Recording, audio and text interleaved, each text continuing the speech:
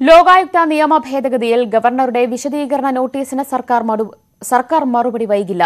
ലോകായുക്ത നിയമം ഭരണഘടനാ വിരുദ്ധമാണെന്ന നിയമോപദേശം മുൻനിർത്തിയാകും സർക്കാരിന്റെ മറുപടി. സർക്കാരിന്റെ വിശദീകരണത്തിന്റെ അടിസ്ഥാനത്തിലാകും ഗവർണറുടെ തുടർ നീക്കം.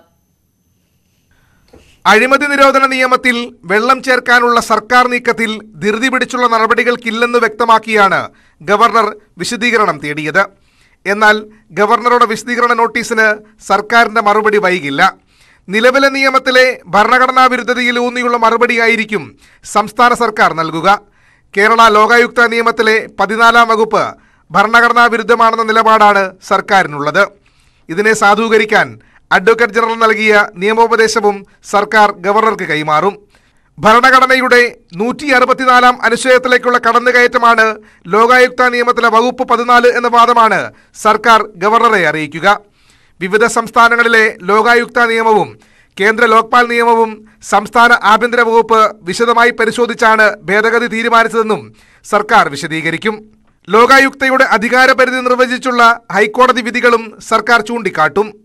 ലോകായുക്തയുടെ അധികാരങ്ങളെ കവരുന്ന ഒരിടപെടലും സർക്കാരിന്റെ ഭാഗത്തു നിന്നുണ്ടാകില്ലെന്നും ഗവർണർക്ക് ഉറപ്പു നൽകും. സർക്കാർ വിശദീകരണം തൃപ്തികരമെങ്കിൽ ഗവർണർ ഓർഡിനൻസിൽ ഒപ്പിടും. അല്ലെങ്കിൽ തിരിച്ചയക്കാനോ പിടിച്ചുവച്ച് നടപടി വൈകിപ്പിക്കാനോ ഗവർണർക്ക് കഴിയും. അടുത്തയാഴ്ച രാജ്ഭവനിൽ തിരിച്ചെത്തിയ ശേഷമാകും ഗവർണർ സർക്കാരിന് മറുപടി പരിശോധിക്കുക. News eighteen Thiruvananthapuram.